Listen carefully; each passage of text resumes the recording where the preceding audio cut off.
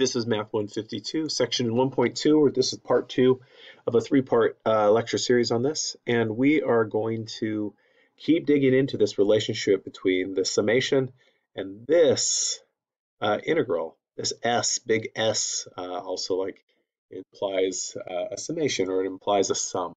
So we uh, we've talked about how these you can write them in two different ways, this way and this way. We're going to keep thinking about that a little bit, dig into a little more detail here.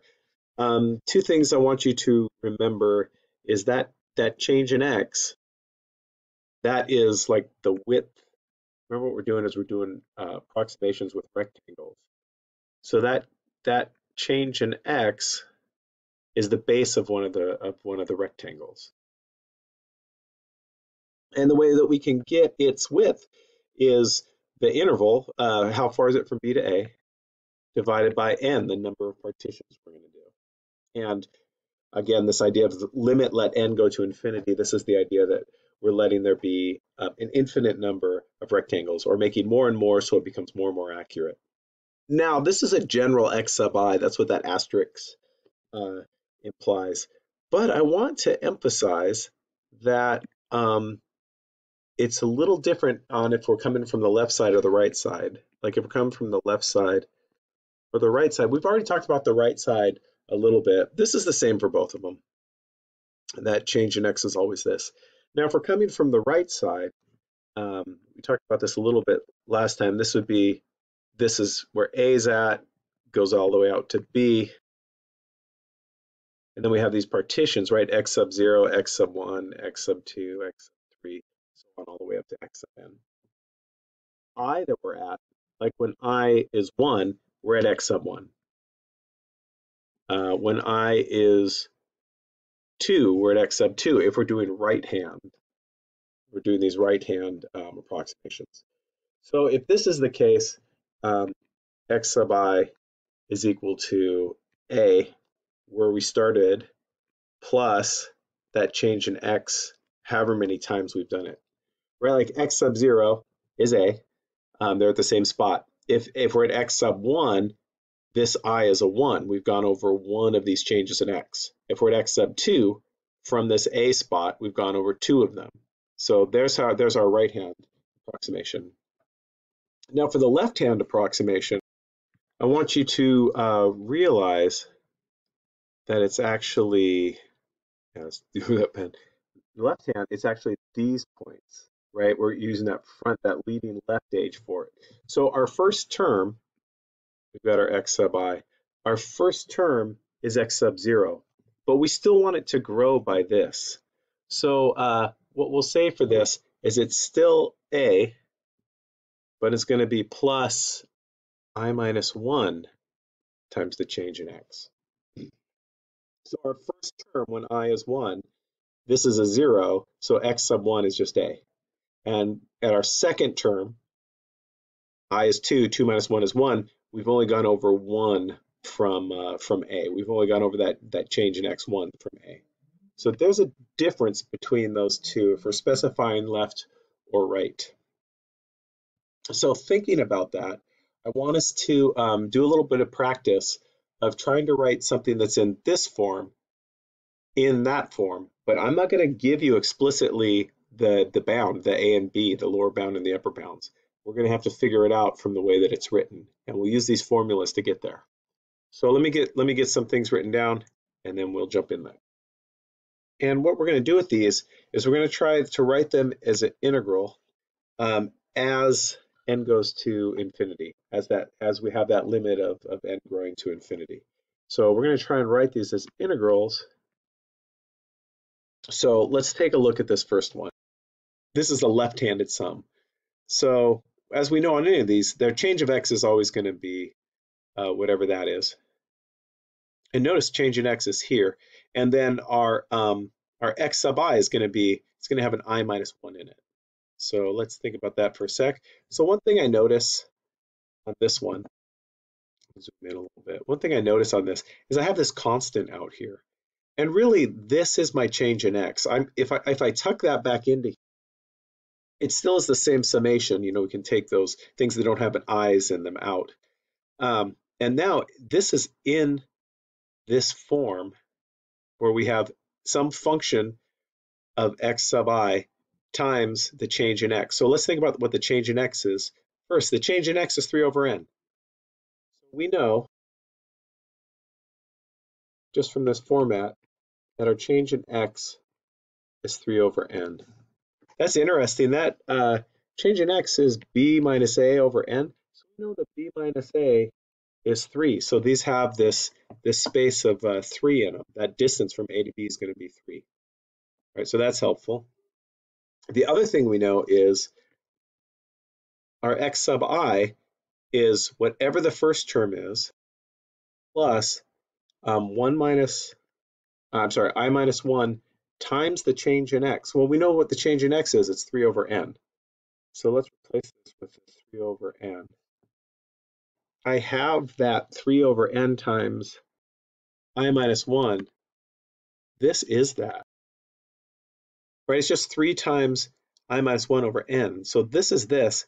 So a plus that has to be this. It looks like a must be 0. There would be a number out here if it wasn't. So it looks like I have all my pieces. I know that a is 0, so I know the lower bound is 0. b minus a is 3, right? That's the distance, so it must go up to 3. My function is just what my inputs are. So x and then dx. So there it is from a left-hand side. So let's look at this right-hand one, then this next right-hand one. I'm going to try and move all this stuff down real quick. All right, so this is a right-hand one. So looking at the right-hand one, I still know my change in x is always uh, always what it's going to be. And I know that my x sub i is just a plus i times change in x. So there's my change in x. I'm going to tuck that back in there just so it looks a little more familiar to me. So think about this form. This is some function of xi, and this one is my change in x. So I know my change in x 5 over n, which means that b minus a must be 5. So I've got this, this spread of 5 from my lower bound to my upper bound. I also know that x sub i on the right-hand one is a, my first term, plus i times my change in x. And my change in x, well, it's 5 over n. And i times 5 over n is the same as 5 times i over n. Right? Like these are the same thing. So it looks like, since this is my function, something like this, a must be 7.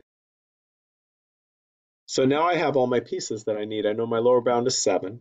I know my range is 5, so it's going to go up 5 from 7, 8, 9, 12.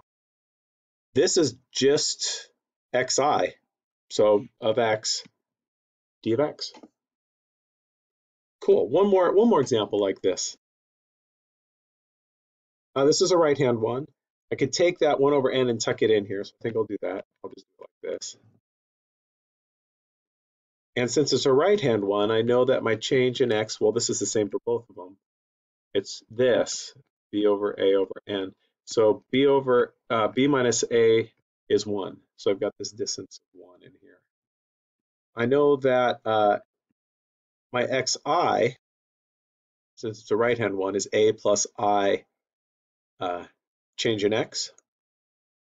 So a plus i change in x, but I know what my change of x is, it's 1 over n. So if I look at this, I've got it here and I've got it here. So it looks like a must be 3. And so if I plug in x sub i back in for this, I can see that my function uh, is going to start at 3 it has this this uh, interval of one, the spread of one, uh, so it's that should be plus one, so that's a four. And then notice what I have is that x sub i here multiplied by a sine cubed of x sub i uh, dx. And there it is. Again, I've, I've rewritten it. So there's that idea for those. Uh, take your time with those. Um, they, they can take a little while to feel comfortable with, but uh, dig on in. And there is a second piece I want to talk about, that's some properties of these definite integrals. And they're the same properties as we saw with summations. For example, well, here's the first one. Notice my lower bound is A and my upper bound is A. So that means it's just basically a line. It would have no area. So that's a zero. This next one brings some direction in. Notice this says my lower bound is B and my upper bound is A. Like it could be that I was, if they're set like this, that's going this way. It would be the same as negating it and then switching them, right? The negative A to B.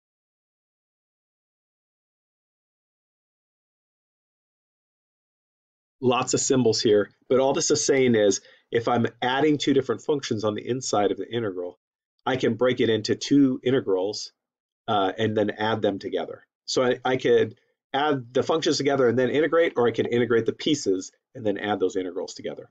It works for subtraction too, so I'll say uh, plus or minus on this. Two more I want to throw in here. If I have some constant in here multiplied by this, some number that's not doesn't have anything to do with x, I can take it out and then take the integral and multiply by it. So like if this was a 5, it'd be 5 times the function. I could take the integral that way, or I could take the 5 out, uh, take the integral of that function, and then distribute the 5 in. And left.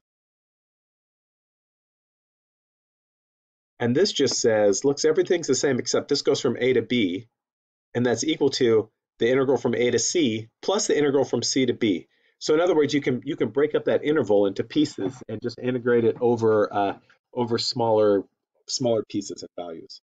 So thinking about those, we're not actually going to like compute integrals, but we'll do some computation with them and with these rules. So let me get, I'm going to write a couple exercises up here and then we will, uh, and some definitions and we'll deal with it. All right, let's dig on in. So notice up here on these, these top parts, these are just definitions. Uh, I have these two functions, f of x and g of x. And I know the integral from 0 to 8 of f of x is 10. This just tells me that like that's equal to 10.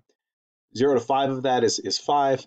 0 to 5 of g is negative 2. 5 to 8 of g is 6. And then I'm going to use that information to figure out these ones. So the interval from uh, 5 to 8 of f of f of x and then you know integrated with relation to x. Well, I don't have a 5 to 8 up here, but I have a 0 to 8 and I have a 0 to 5. So what I could do is I could say, how about it's the same, I know that this minus that, if I take this and I subtract off that part of the interval, it should be the same as uh, as that, right? That's how I could get to that. But I know the value of this is 10, and I know the value of this is 5, so that must be a 5. Next one, interval from 0 to 5 of f of x plus g of x dx. Uh, well, I have it for each of them separately. So you can see that I could just, the answer is going to be 5 plus negative 2. It's going to be 3. Uh, technically, if I were to write it out, I would show that I'm doing this interval, the integral plus this integral. This one is 5. This one is negative 2, so the answer is 3. Uh, okay, 0 to 8 of g of x.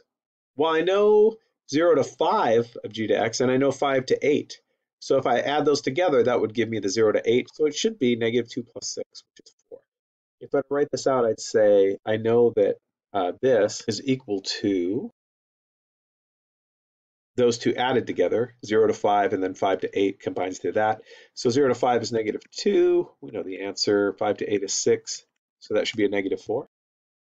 And then on this last one, uh, the integral from 0 to 8 of 3 times f of x minus 2 times g of x.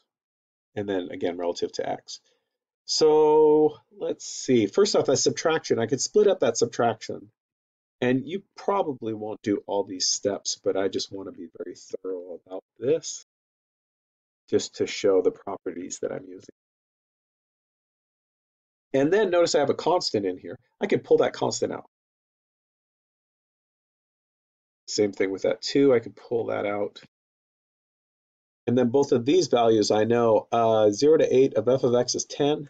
So this would be 3 times 10 minus 2 times the 0 to 8 was an earlier problem that I did. This one, negative.